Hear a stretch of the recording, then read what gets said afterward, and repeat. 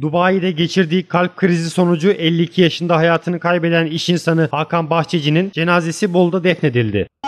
ve eşhedü enne Muhammeden abduhu ve resuluh diyerek Ya Rabbi ona iman ettik. Getirdiklerine iman ettik.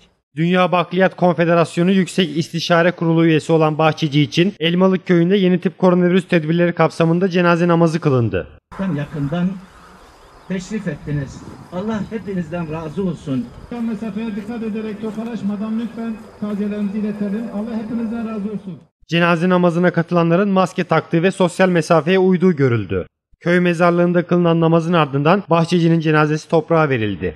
Cenaze namazına Bahçeci'nin ailesinin yanı sıra Bolu Vali Yardımcısı Çağlayan Kaya, Bolu Spor Kulüp Başkanı Necip Çarıkçı, iş insanları ve vatandaşlar katıldı.